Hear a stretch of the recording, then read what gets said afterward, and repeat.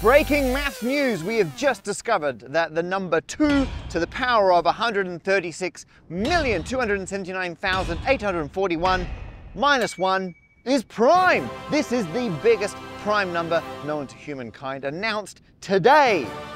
Well, I'm on vacation, but math doesn't take a holiday, and I was going to learn about this anyway, so I've interrupted my holiday to this fantastic location because I was so excited about this number. It is a surprisingly big change in how we discover very big prime numbers. This one was discovered by someone called Luke Durant. It was originally thought to be prime on the 11th of October 2024. On the 12th of October, it was proven to be prime but has to be double checked. Lots of checks to make sure we're absolutely certain. And today, 21st of October, 2024, officially announced. And it has a lot of digits. Here are the beginning digits.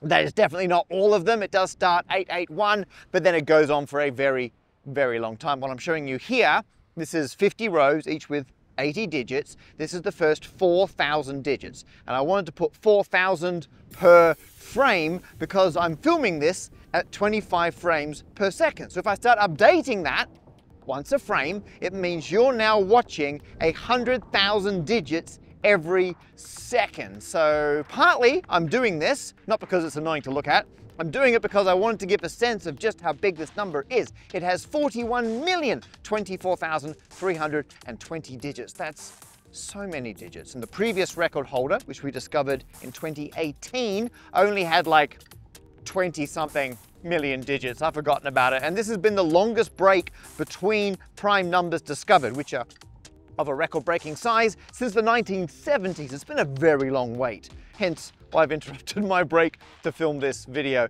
And this just gives you a sense. You'll be watching this for a very long time. This will take about six minutes and 50 seconds to cycle through all of them at 100,000 digits a second. Just incredible. And also, I think it's a shame that a lot of these numbers, when they're discovered and we prove they're prime, no human ever looks at all of the digits. So if you watch this entire video and you keep looking at that and you don't blink, you will have seen every single, you may be the first human to do it if you're watching this early. Even I haven't watched this all the way through. The people who discovered it haven't seen all of it. If you watch this, your human brain will have seen every single digit of the biggest prime number we know about. Now, like a lot of previous prime numbers, this was discovered through the great internet Mersenne prime search. And there are two major shifts that have now happened. First of all, they are using a different technique for finding prime numbers. They're still using Mersenne primes because they're the easiest to check. And in the video I made back in 2016,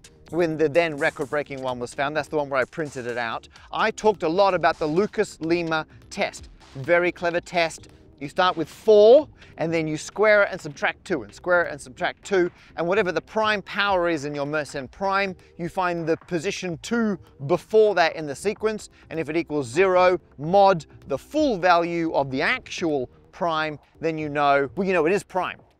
It's a way you can check absolutely it's definitely prime, only works for Mersenne primes. They stopped using that in the great internet Mersenne prime search in 2018 because they realized if you do a probabilistic approach first, because these numbers are getting so big now, you can narrow it down so much. It's way quicker to get a likely prime and then double check it than it is to just properly check every single number. So they're using the Fermat's little theorem probabilistic test for primes, which states if you've got any integer a and you raise it to the power of p minus 1, where p is some prime, it will definitely equal one mod that prime. So if you've got some number n that you're wondering, is it prime? You can try an A, do this calculation, see if you get one, mod that number, and that gives you a very good indication. Like it can happen by accident. If it's not a prime, very, very rare. And you could try a couple different A's if you want to make absolutely certain. And that's what they're doing now. They're using the probabilistic test first. Well, first of all, they just check some very easy factors. For this one, they checked up until 2 to the power of 77. They just check all the factors below that the boring way, where there are some clever tricks you can use. Then they use the probabilistic test.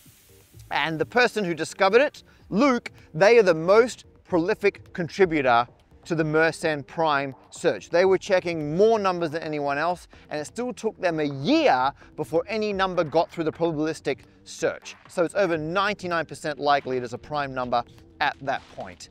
They also, in the year 2020, realized doing it this way, there's a very nice proof of work. So because this is a distributed computing project and anyone can get involved, you can do it.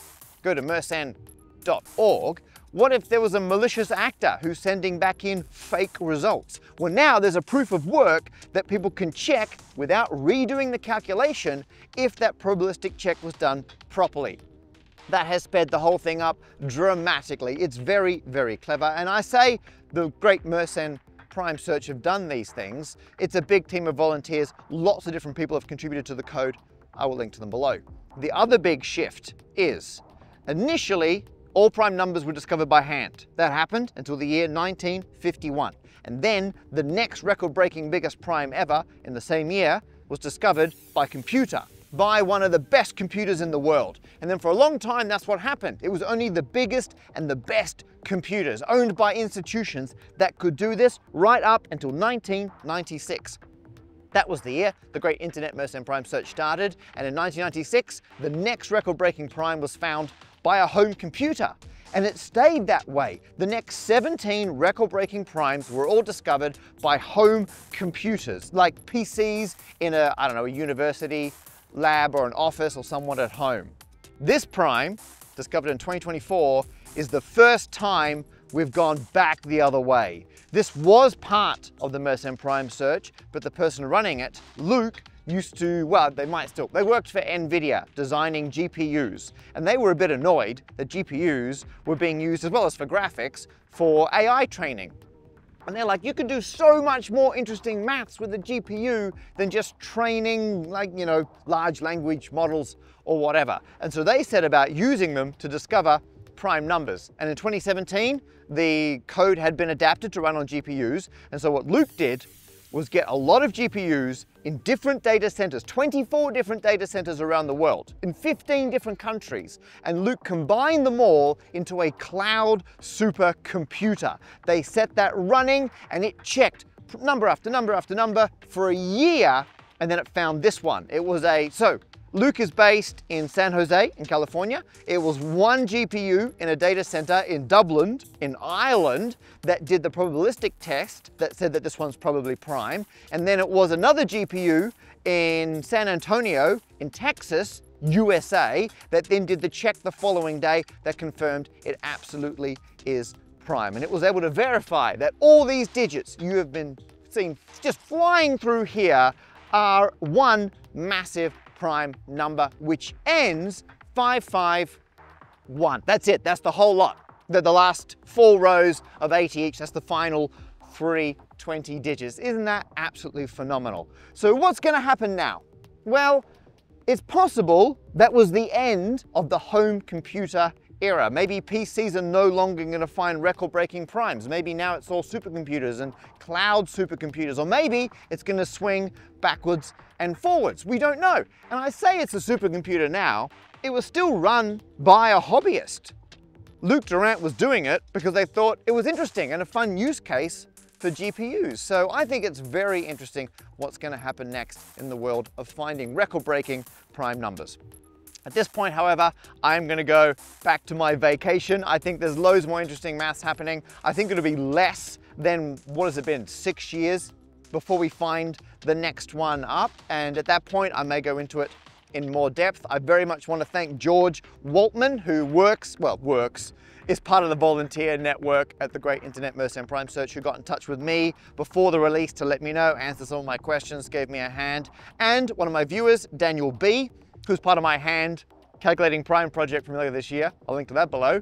They also got in touch because they saw it coming up as a likely prime in the details on the Mersenne Prime search. They got in touch and they printed it out.